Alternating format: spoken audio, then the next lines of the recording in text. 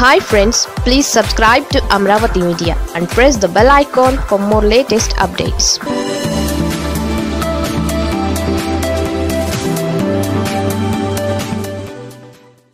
విగ్గురాజు పెగ్గురాజు డూప్లికేట్ గాజు బాబోయ్ సాయిరెడ్డి తిట్ల పురాణం.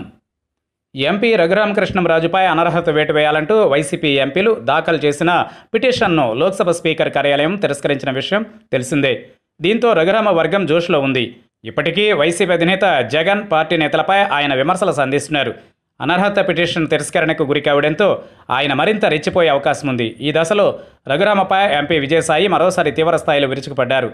అనర్హత వేటు పడలేదని సంతోషించొద్దని ఆ పదవి కూడా ఆయన విగ్గులాగే తాత్కాలికమనే విషయం గుర్తుంచుకోవాలని సెటైర్లు వేశారు.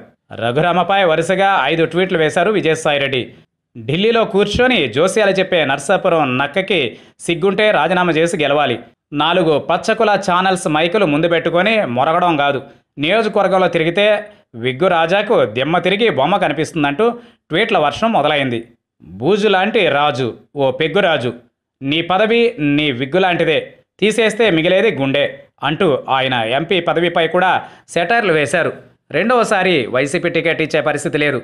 ఇతర పార్టీలు టికెట్ ఇచ్చినా నరసాపురంలో ఆయన గెలిచేంత సీన్ లేదని పరోక్షంగా చెణుకులు విసిరారు. నరసాపురంలో లేకుండా కేవలం ఢిల్లీలోనే మకాం పెట్టిన రఘురామకృష్ణరాజు అడగకుండానే నియోజకవర్గం వదిలి అజ్ఞాతవాసం అరణ్యవాసం చేసే ఏకైక రాజు విగ్గురాజు పెగ్గురాజు.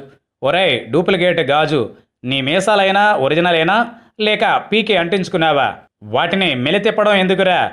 ఎల్లో కులమీడియా రుచి కమ్మగా సొంత పార్టీ రుచి చేదుగా నీదేం నోరురా విగ్గుబాబు? ఇలా వరుస ట్వీట్లతో విజయసాయి పొలిటికల్ హీట్ పెంచారు.